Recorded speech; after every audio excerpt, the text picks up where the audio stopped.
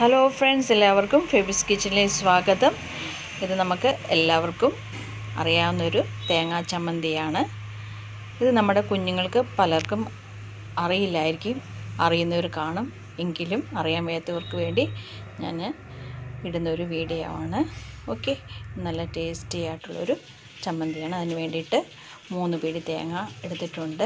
ചുമന്നുള്ളി മൂന്നെണ്ണം അല്പം ഇഞ്ചി പിന്നെ വാളംപുളി ഒരു കഷ്ണം കരിവേപ്പില ഇത്രയും. ഓക്കെ ഇനി നമുക്ക് ഒരു മിക്സിയിൽ ഒരു ജാർ എടുത്തതിന് ശേഷം തേങ്ങ ഇതിലേക്കൊന്ന് ഇട്ട് കൊടുക്കാം.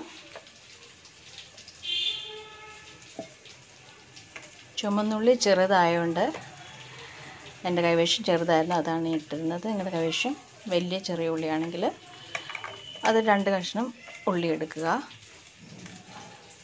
ചെറിയ ഉള്ളി ഇല്ലെങ്കിൽ സവാള കുറച്ച് അല്പം ഇട്ട് എടുക്കുക. ഇഞ്ചി ഒരു ചെറിയ കഷ്ണം പുളി. ചെറിയൊരു കഷ്ണം പുളി എടുത്തു. ഇനിയും കരിവേപ്പിലയും കൂടി ഇട്ട് കൊടുക്കാം.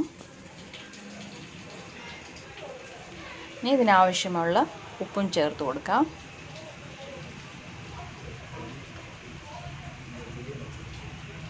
ഒരു സ്പൂൺ മുളക് പൊടി ഇട്ട് കൊടുത്തിട്ടുണ്ട്.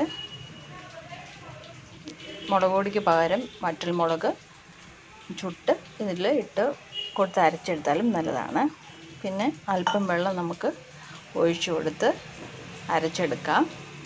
ഇതിപ്പോൾ അല്പം വെള്ളമേ എടുത്തുള്ളൂ. ഇനി നമുക്കിതുപോലെ ഒന്ന് ഇളക്കി കൊടുത്തിട്ട് അല്പം കൂടെ വെള്ളം ഒഴിച്ച് അരച്ചെടുക്കാം. അമ്മിക്കല്ലിൽ അരച്ചെടുക്കുന്നതാണ് ഏറ്റവും ടേസ്റ്റ്.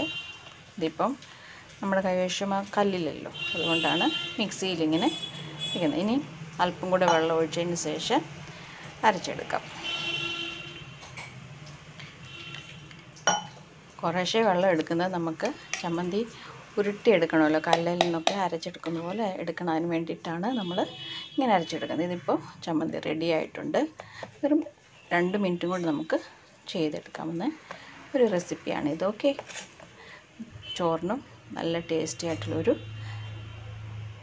റെസിപ്പിയാണ് ഓക്കെ നിങ്ങൾക്ക് ഇഷ്ടമായെങ്കിൽ ട്രൈ ചെയ്ത് നോക്കുക. ഇഷ്ടപ്പെട്ടാൽ ലൈക്ക് ചെയ്യുക ഷെയർ ചെയ്യുക. ഓക്കെ പിന്നെ എന്റെ ചാനൽ ആദ്യമായിട്ടാണ് കാണുന്നതെങ്കിൽ സബ്സ്ക്രൈബ് ചെയ്യാനും മറന്നു പോകല്ലേ ഓക്കെ വീണ്ടും കാണും വരെ. By C U അഗേ